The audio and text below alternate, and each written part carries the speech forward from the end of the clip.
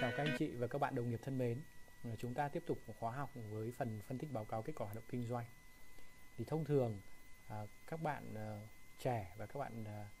chuyên viên tư vấn à, chưa có kinh nghiệm thì thông thường chúng ta thường hay nhìn vào báo cáo kết quả hoạt động kinh doanh để tư vấn cho khách. Thế tuy nhiên Tuấn xin nhấn mạnh lại tinh thần cũng như là cái tư duy chung để chúng ta phân tích báo cáo tài chính một cách đúng đắn, đó là chúng ta phải nhìn vào bảng cân đối kế toán trước và phân tích trước à, các tài sản có thể đem lại lợi ích à, kinh tế ngắn hạn cũng như dài hạn cho doanh nghiệp. À, qua đó thì chúng ta mới có thể à, phân tích sâu sắc hơn vào triển vọng hoạt động kinh doanh của doanh nghiệp trong tương lai. Thế tuy nhiên à, báo cáo kết quả hoạt động kinh doanh thì thông thường sẽ đem đến sự phản ứng về giá cổ phiếu một cách nhanh chóng cũng như trong ngắn hạn và do đó thì chúng ta cũng cần phải biết cách và tư duy để tìm hiểu cũng như phân tích một cách đúng đắn báo cáo hoạt động kinh doanh của doanh nghiệp. Đầu tiên, à, chúng ta cần phải nhìn về tư duy chung của báo cáo kết quả hoạt động kinh doanh, đó là à, kết quả kỳ vọng sự doanh thu lợi nhuận của doanh nghiệp trong một kỳ kế toán cụ thể. Nói một cách đơn giản, một báo cáo kết quả hoạt động kinh doanh à, chỉ bao gồm 3 phần chính. Thứ nhất là phần lợi nhuận, thứ hai là phần doanh thu, thứ ba là phần chi phí. À, Tuấn muốn chia sẻ cũng như muốn các anh chị à, nhớ rất rõ cái tư duy này lợi nhuận bằng doanh thu trừ chi phí. Điều đấy có nghĩa là một doanh nghiệp có khả năng tăng trưởng về lợi nhuận trong tương lai thì doanh nghiệp đó phải làm được hai điều. Một là tăng trưởng doanh thu, hai là giảm chi phí và một doanh nghiệp tốt nhất, hiệu quả nhất có thể đem lại hoạt động đầu tư tốt nhất cho các anh chị là một doanh nghiệp có thể luôn luôn tăng trưởng doanh thu trong nhiều kỳ liên tiếp và có thể giữ chi phí hoặc giảm chi phí ở mức độ ổn định. Thì đó là cái tư duy mà Tuấn muốn chia sẻ với các anh chị để các anh chị chúng ta cùng nghiên cứu à, và phân tích các doanh nghiệp. À, do đó để tạo ra một siêu phẩm đầu tư, một cơ hội đầu tư thuận lợi thì chúng ta cần tìm ra những doanh nghiệp có lợi nhuận tăng trưởng à, trong tương lai à, Tuấn muốn nhấn mạnh lại về tư duy đầu tư đó là các anh chị phải chọn ra một cổ phiếu tốt của một doanh nghiệp tốt và nó phải tốt hơn nữa trong tương lai. Nếu như doanh nghiệp chỉ có lợi nhuận ổn định thì cũng không thể đem đến cho các anh chị một cơ hội đầu tư tốt được. Vì thông thường giá cổ phiếu chúng ta mua ở trên sàn là một giá cao hơn so với khả năng sinh lời của doanh nghiệp. Thứ hai à, chúng ta cần phải chú trọng lợi nhuận từ hoạt động kinh doanh chính. À, các yếu tố liên quan đến à, lợi nhuận từ các khoản đầu tư bất thường hoặc từ các yếu tố mang tính bất thường cao thì thường sẽ không tác động lâu dài và dài hạn đến diễn biến giá cổ phiếu. Đó là cái yếu tố mà tuần muốn các anh chị à, chúng ta à, cùng à, tìm hiểu cũng như cùng ghi nhớ cái tư duy này. À, đầu tiên một doanh nghiệp có thể tăng trưởng doanh thu khi nào? Doanh nghiệp có thể tăng trưởng doanh thu à, bởi hai yếu tố chính. Thứ nhất doanh nghiệp phải bảo toàn được vị thế của nó trong ngành nghề lĩnh vực mà nó đang hoạt động kinh doanh. Hay nói một cách ờ, cụ thể hơn đó là doanh nghiệp phải bảo vệ được thị phần của nó. Ví dụ một doanh nghiệp A có thị phần à, là 20% à, trong ngành và ngành đó tăng trưởng 10% một năm. Nếu như thị phần không thay đổi thì doanh nghiệp có thể uh, có sự tăng trưởng doanh thu 10% một năm. Trường hợp tốt nhất đó là những doanh nghiệp có khả năng giữ thị phần có khả năng tăng thị phần của mình à, trong dài hạn năm nay là 20%, năm sau là 22%, năm sau nữa là 25% ờ, và tiếp tục trở thành một ông lớn trong ngành. À, đồng thời, ngành nghề lĩnh vực mà doanh nghiệp đang hoạt động cũng là một ngành nghề ít nhất là ổn định hoặc là một ngành nghề có sự tăng trưởng khả quan trong tương lai. Thì đó là những doanh nghiệp mà có thể tạo ra cho các anh chị những siêu phẩm đầu tư với mức tăng trưởng 10 lần, 12 lần, 15 lần. Yếu tố thứ hai là một số doanh nghiệp có yếu tố khả quan về đầu tư đó là những doanh nghiệp mặc dù doanh thu tăng trưởng không cao nhưng có thể giảm chi phí. Các yếu tố để cho doanh nghiệp có thể giảm chi phí đó là những doanh nghiệp tiến hành tái cơ cấu hoạt động kinh doanh của mình, bỏ các mảng hoạt động kinh doanh kém hiệu quả và tập trung vào các mảng hoạt động kinh doanh hiệu quả. Yếu tố thứ hai, doanh nghiệp cơ cấu lại uh, cơ cấu tổ chức của mình để giảm các chi phí trung gian bao gồm chi phí bán hàng, chi phí quản lý doanh nghiệp À, thứ ba là doanh nghiệp trả bớt nợ vay qua đó giảm các cái chi phí cố định như chi phí tài chính, chi phí trả lại vay. Thì đấy cũng là những doanh nghiệp có thể đem lại cho chúng ta những khoản à, lợi nhuận tốt bởi những hoạt động đầu tư tốt trong tương lai thì đó là những cái điểm mà Tuấn muốn lưu ý các anh chị à, trong việc phân tích bảng kết quả hoạt động kinh doanh à, yếu tố mà Tuấn muốn nhấn mạnh đó là khi phân tích bảng kết quả hoạt động kinh doanh thì các anh chị cần phải lưu ý chúng ta không nên quá chú trọng nhìn vào hoạt động uh, lợi nhuận dòng mà chúng ta nên chú trọng nhìn vào lợi nhuận gộp. Lợi nhuận gộp là lợi nhuận trước khi trừ đi các chi phí bao gồm chi phí quản lý chi chi phí uh, quản lý chi phí lãi vay và một số loại chi phí bất thường khác. Nó thể hiện rất rõ uh, cái sức khỏe tài chính của doanh nghiệp đó và do đó thì uh, chúng ta nhìn vào các cái khoản đầu tư uh, hoạt động rất tốt trong những năm vừa qua. Ví dụ như một công ty như là công ty PNG thì nếu chúng ta nhìn vào Ờ, bảng kết quả hoạt động kinh doanh của nó thì chúng ta thấy rằng từ suốt từ năm 2013 đến năm 2016 PNG không có sự tăng trưởng về lợi nhuận dòng tuy nhiên lợi nhuận gộp của PNG tăng trưởng lên rất là mạnh. Thế đó là đó chúng ta thấy rằng là với những doanh nghiệp như vậy có thể tạo ra những cơ hội đầu tư rất là tốt trong tương lai. À, về à, các yếu tố cần phải phân tích trên bảng kết quả hoạt động kinh doanh thì chúng ta phải hết sức lưu ý. Thứ nhất về doanh thu chúng ta phải phân tích về cơ cấu doanh thu. À, doanh thu của công ty bao gồm những mảng kinh doanh nào và những mảng trong những mảng kinh doanh đó mảng kinh doanh nào là đang tăng trưởng mảng kinh doanh nào là đang à, trầm lắng mảng kinh doanh nào đang ổn định và mảng kinh doanh nào sẽ bị triệt tiêu trong tương lai.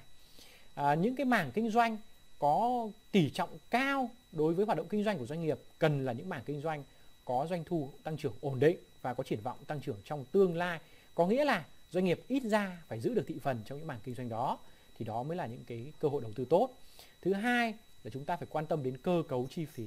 Chi phí nào chi phí gì là những cái chi phí à, chính của công ty? Tôi lấy ví dụ những công ty hoạt động trong lĩnh vực thủy điện chi phí chính của công ty là chi phí lãi vay và chi phí khấu hao. À, những công ty hoạt động trong lĩnh vực thương mại chi phí là chi phí ra vốn bán hàng. À, chi phí à, đối với những công ty hoạt động trong lĩnh vực sản xuất thì chi phí có thể là chi phí nguyên vật liệu chi phí khấu hao vân vân. Thì đối với những cái cơ cấu chi phí được phân tích một cách đầy đủ và chúng ta tìm ra các chi phí chiếm tỷ trọng cao nhất trong hoạt động kinh doanh của công ty thì chúng ta cần phải theo dõi các chi phí này và dự báo việc tăng lên hay giảm đi của các chi phí này bởi các yếu tố về điều kiện vĩ mô. Thì đó mới chính là à, cái cách mà chúng ta à, phân tích bảng kết quả hoạt động kinh doanh thay vì chúng ta chỉ nhìn thuần túy vào lợi nhuận doanh nghiệp yếu tố thứ ba mà chúng ta cần phải theo dõi đó là biên lợi nhuận gộp. Biên lợi nhuận gộp là lợi nhuận của doanh nghiệp biên của doanh nghiệp à, sau khi trừ đi các chi phí của giá vốn hàng bán. À, và do đó nó thể hiện được rằng à, doanh nghiệp có sức mạnh như thế nào đối với các à, khách hàng của nó. Một doanh nghiệp có biên lợi nhuận gộp cao thông thường sẽ có rủi ro ít hơn là một doanh nghiệp có biên lợi nhuận thấp. Bởi vì một khi doanh nghiệp có biên lợi nhuận quá thấp thì bất cứ sự biến động nào trong môi trường kinh doanh của doanh nghiệp cũng sẽ khiến cho doanh nghiệp à, gặp bất lợi và chuyển từ lãi thành lỗ. Một doanh nghiệp có biên lợi nhuận gộp cao cũng tương tự à, hàm ý rằng à, doanh nghiệp có thể đưa ra và áp đặt một cái giá tương đối cao so với giá vốn của nó đối với các đối tác, đối với các người mua và cho thấy rằng năng lực cạnh tranh của doanh nghiệp là ở mức độ cao và ít các đối tượng đang cạnh tranh với doanh nghiệp trong cái ngành nghề kinh doanh mà doanh nghiệp đang thực hiện. Tôi lấy ví dụ như trường hợp của Hòa Phát. Nếu các anh chị nhìn vào Hòa Phát và các công ty thép khác, các anh chị sẽ thấy biên lợi nhuận gộp của Hòa Phát cao hơn đáng kể so với các công ty thép trong ngành. À, điều đó nói lên hai điều. Thứ nhất, năng lực cạnh tranh của Hòa Phát rất mạnh và Hòa Phát chiếm một thị phần cao à, đối với các cái uh, ngành thép, các công ty khác trong ngành thép. À, đồng thời, à, Hòa Phát là một công ty có khả năng à, thiết lập cái mức độ giá bán sản phẩm trên thị trường và do đó rủi ro khi đầu tư vào một công ty như Hòa Phát sẽ thấp hơn đáng kể so với việc đầu tư vào các công ty thép khác nơi mà có biên lợi nhuận gộp thấp và bất cứ biến động nào đối với giá nguyên vật liệu, đối với môi trường kinh doanh đều khiến cho các công ty này biến lãi thành lỗ. À, một trong những yếu tố khác mà chúng ta cần theo dõi đó là chi phí khấu hao và chi phí lãi vay. Chi phí khấu hao và chi phí lãi vay thông thường là một khoản chi phí cố định à, đối với doanh nghiệp và do đó à, dù doanh nghiệp có doanh thu hay không thì nó đều phải trả chi phí khấu hao và chi phí lãi vay. À, cho nên chúng ta cần phải hết sức lưu ý đối với những doanh nghiệp này. Đối với những doanh nghiệp có chi phí khấu hao và chi phí lãi vay cao à, thì thông thường thông thường à, là là các doanh nghiệp này sẽ có à, kết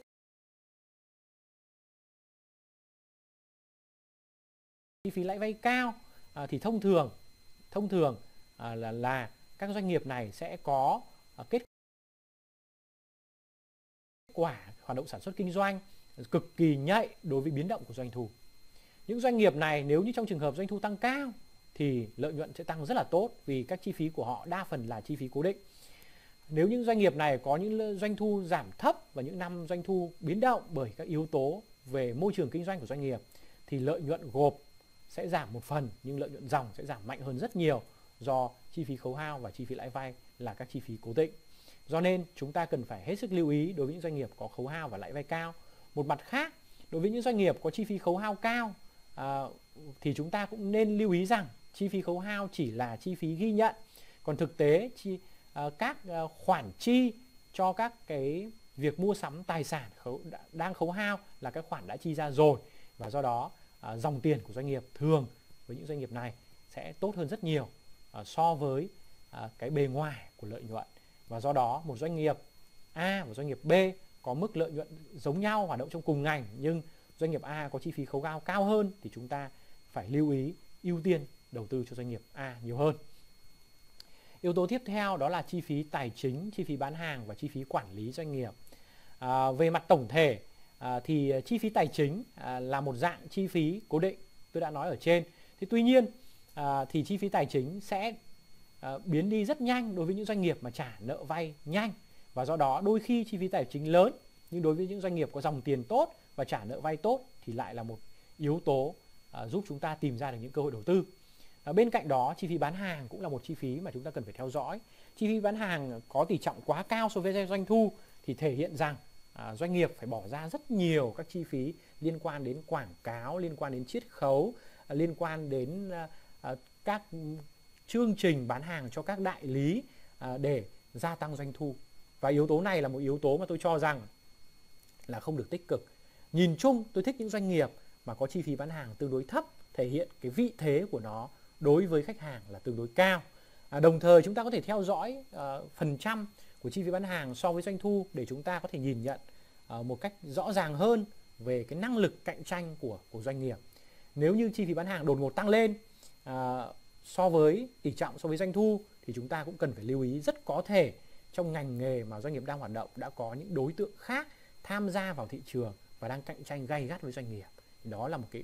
đó là một cái tín hiệu mà chúng ta cần phải hết sức cảnh giác.